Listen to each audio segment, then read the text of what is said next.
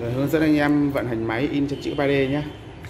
Khi anh em chuyển máy về tới nhà Anh em phải có cái rẻ nha Rẻ anh em lau sạch cái mặt bàn nha. Chứ đừng lấy chổi quét nhé. Lấy cái rẻ lau sạch sẽ mặt bàn này. Đó. Rẻ lau sạch sẽ Lau sạch sẽ hết. Rồi anh em ờ, để hết cái hộp, hộp điều khiển vào đây. Rồi anh em cấp cấp điện nhé cắm điện.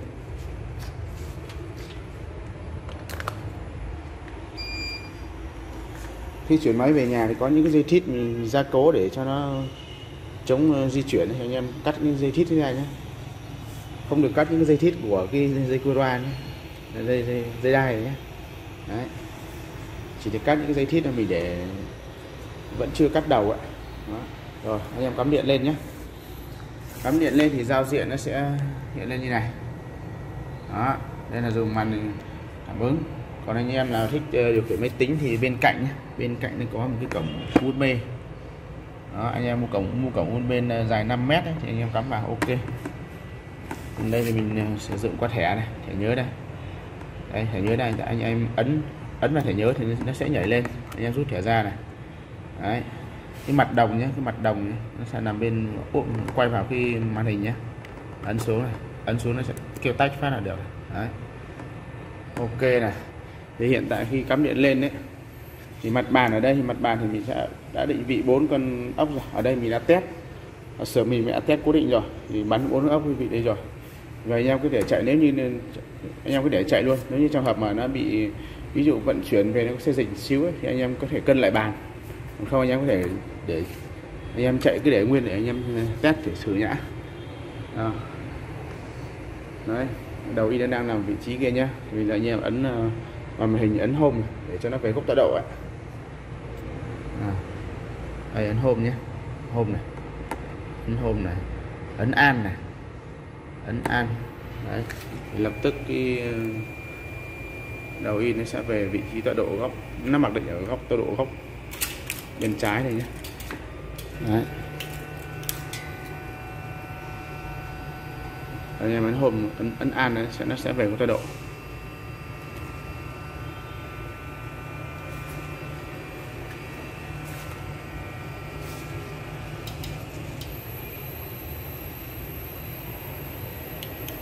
rồi ok nhá.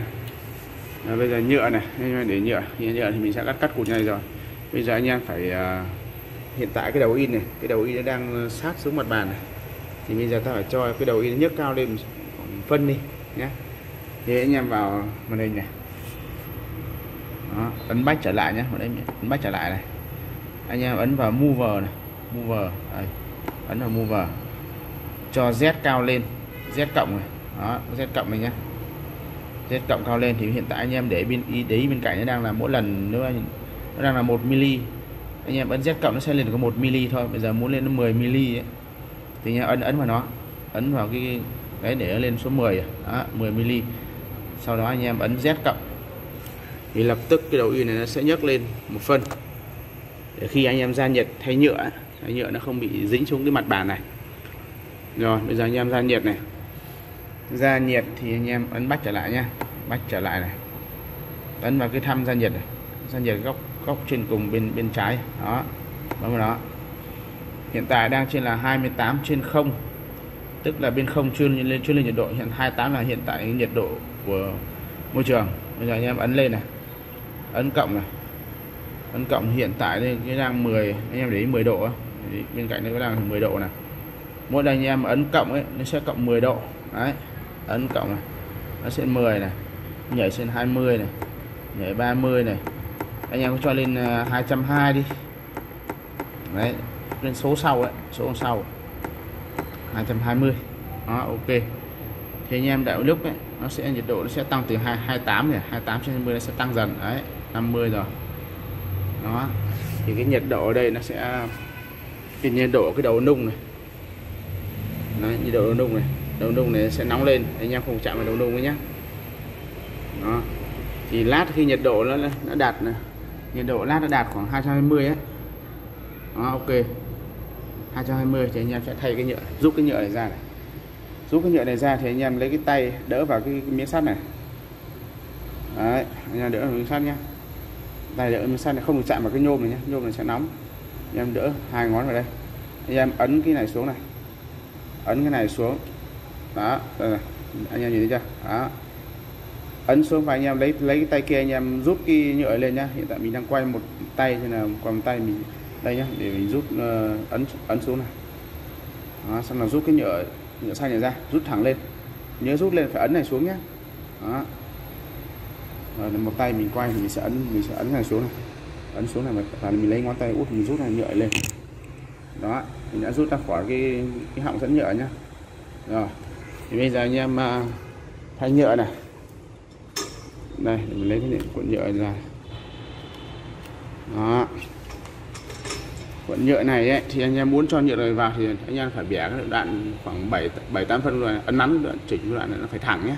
Chứ để cong này ấn ấn nó không vào đâu anh em phải chỉnh cho nó thẳng khoảng à, 7 8 phân. Anh em chọn để, để chỉnh cho nó vào cái họng dẫn nhựa đấy. Đây mình đang nắn mình một tay thì mình quay một tay còn tay mình sẽ nắn.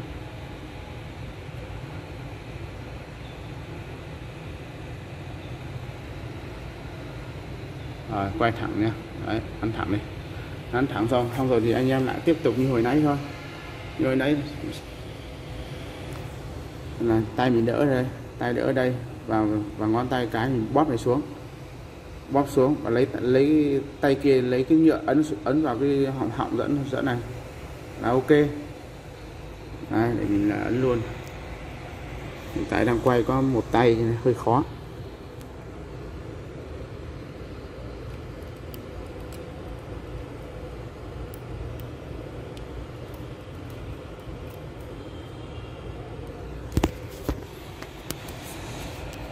Đó rồi khi mình ấn ấn xuống ấy thì cái nhựa lập tức nó sẽ phòi ra nhiệt độ nó đã đủ rồi mà.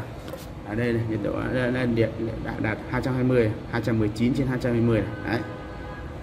Nó thôi ok cái nhựa nó sẽ phòi ra khi anh ấn vào nhựa nó sẽ phòi ra. Đó.